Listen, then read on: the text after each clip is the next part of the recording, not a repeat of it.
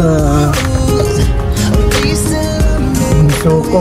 Kaya sinasabi ko kapag talagang uh, mataon na matraffic, abutin ka talaga ng siyam-siyam. Hindi na nga ako nag uh,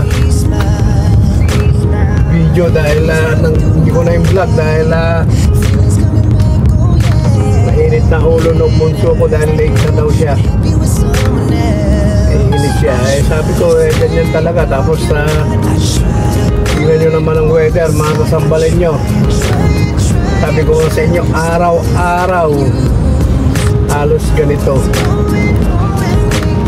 Kaya, sino bang ayaw mag-holiday at uh, pumunta sa magandang uh, lugar na may magandang panahon.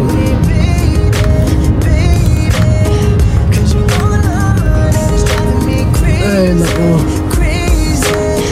Minsan masasawa ka na rin sa ganitong weather, mga kasambalin nyo. Kaya wala ka namang magagawa.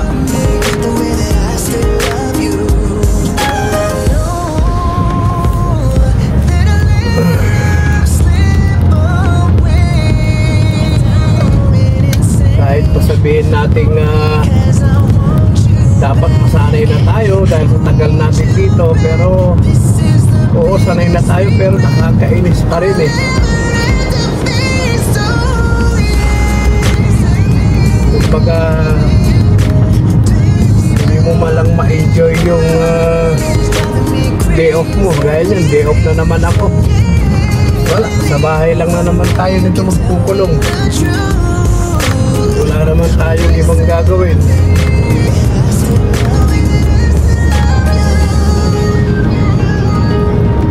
Ay, buhay. Ganyan talaga ang buhay dito.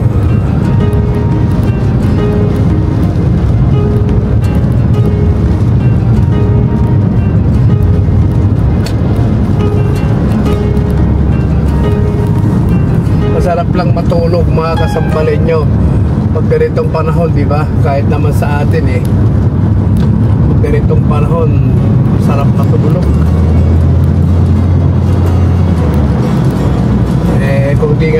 Tayo maghahatid eh, baka nasa kama pa tayo ngayon.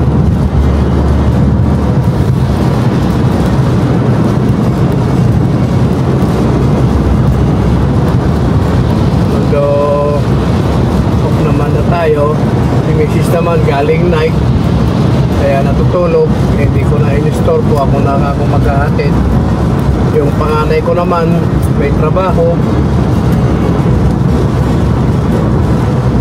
So, nagtatanong kung anong trabaho ng panganay ko. Uh, teacher po yung panganay ko. Uh, nagtuturo siya ng nursery. Kaya lang minsan parang uh, sasawa na rin. Alam mo naman yung mga generation ngayon. Mabilis silang magsawa sa binagawa nila. Gusto nila parang laging on the go.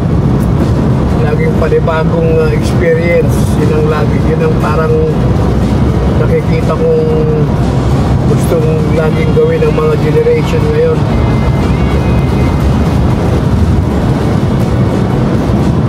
Pag nagkaroon sila ng trabaho, parang ilang taon lang pag nagsawa na, gusto nang humanap ng ibang trabaho. So, sabi ko sa kanya, it's up to you. Eh, wala naman tayong magagawa ang mga kasambalin nyo, kundi magpayo lang. Kaya, sila rin lang naman ang masusunod. Sa panahon ngayon, sabi nga nila, wala na yung time na tayo ang susunod sa magulang natin. Ngayon, anak na susunod sa magulang. O magulang na ang susunod sa anak, sabi ko pala. Ganun na ang generation ngayon. Kaya yung isa guys, sabihin mo sa kanila na eh, kahit ikwento mo sa kanila yung mga nung araw wala sasabihin mo na araw titignan lang kami ng magulang namin. Alam na namin ibig sabihin nun. Pag may kausap silang matanda titigil lang sila sa amin. Alam na alam na namin ibig sabihin yung mga ganong mga quad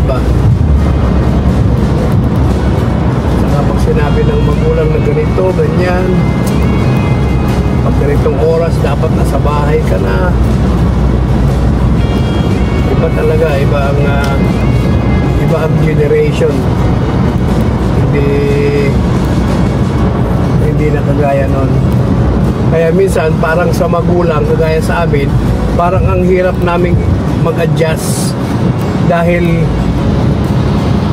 para bang ang, ang, ang nasa isip namin dapat gawin din ninyo yung ginawa namin nung araw sa magulang namin. Which is hindi na nga po pwede sa panahon ngayon. Especially dito. Eh syempre sayot man sa gusto namin yung kultura na halos ang nakuha dito ng mga anak namin. Although yung panganay hindi naman dito pinanganak pero 4 years old siya nung nagpunta siya rito kaya bunso dito nung pinanganak. So yung way of life dito nakuha na nila syempre dahil especially yung bunso ko wala naman siyang ka kaalam-alam kung paano ang buhay sa Pilipinas. Although kahit ikwento mo ng ikwento, iba pa rin yung na-experience sana nila mismo. Kaya sa aming mga magulang na Pilipino, especially na nandito, kailangan sumabay kami doon sa trend ng mga kabataan. Dahil kung ipipilit namin ng ipipilit yung gusto naming mangyari na kagaya nung panahon ng kami ang nasa edad nila malabong mangyari mga kasampalin nyo dahil iba na nga eh. Mag-aaway lang kayo. Bukod sa mag-aaway lang kayo magre-rebelde pa sila. Yun, yun ang mahirap eh. Magre-rebelde pa sila. Kaya kailangan talagang pag-aralan mo din yung galaw ng mga kabataan dito. As long siyempre nandiyan pa rin yung pangaral nandiyan yung advice. Awa ng Diyos sa dalawa naming anak. Safe din siguro sa ibang Pilipino nagkakaroon din ng problema. Nagkakaroon din kami ng problema of course. Pero nagpapasalamat din ako dahil uh, kahit papano may nakikita naman namin na okay naman sila. Hindi naman sila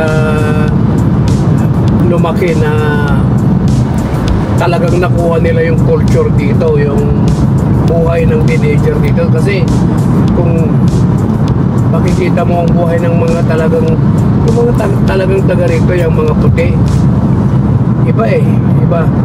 The way na i-treat nila yung parents nila. Sabi ko nga sa inyo sabi ko kung ganyan lang anak ko masasampal ko araw-araw eh. Awa ng Diyos hindi naman naging ganun yung mga dalawang anak namin. So at wala naman ako nakitang Pilipino anak ng Pilipino na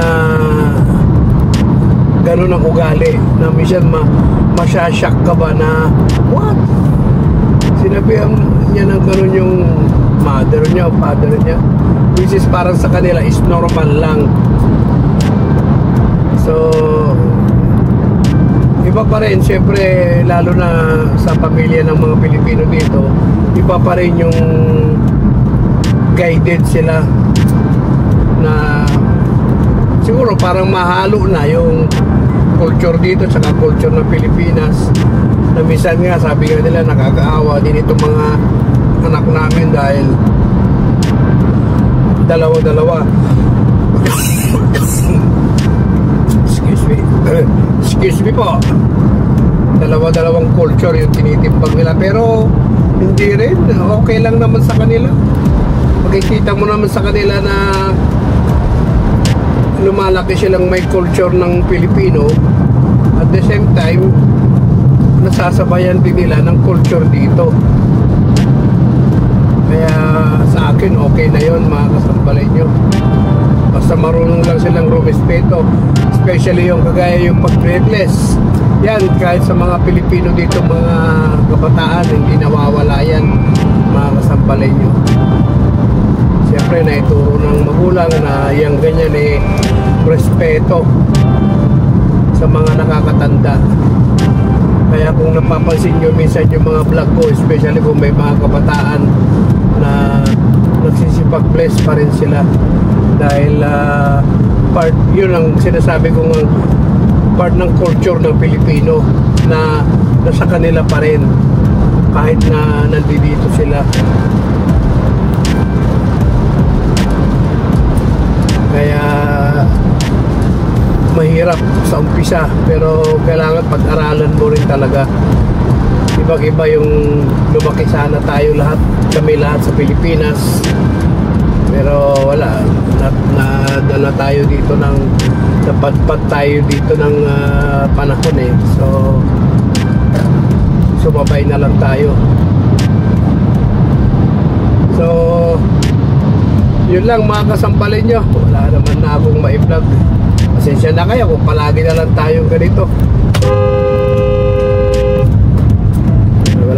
tayong ibang uh, gagawin ngayon. Kita nyo naman yung panahon. Nakakatamad. Shout out po lahat sa lahat ng aking mga subscribers. Especially uh, alam ko may mga bago akong subscriber. Shout out po sa inyong lahat. At uh, mag-ingat po tayong lahat maraming maraming po salamat. May mga adjustment pa dito sa bagong uh, gadget natin. At uh, pinag-aaralan pa natin yan. Hindi na tayo siguro makapagpalipad ng uh, drone. Siguro sa summer na. April, May. Sa ganito ngayon wala. Po tayong makagawa ng uh, drone ng ganito.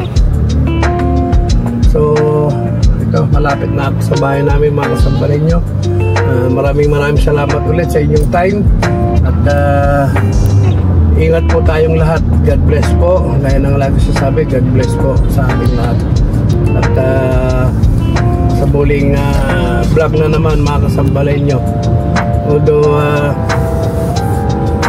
malapit-lapit na naman ang March ang bilis ng panahon bukas makalawa Pasko na naman. Oh my god ano ba yan? Parang pati panahon nagmamadali. At uh, wala naman tayong pan ibang mai-content so yun lang mga kasambalin nyo. Rin sabi ko ingat po tayong lahat. At uh, God bless po kena sambal Okay, bye-bye.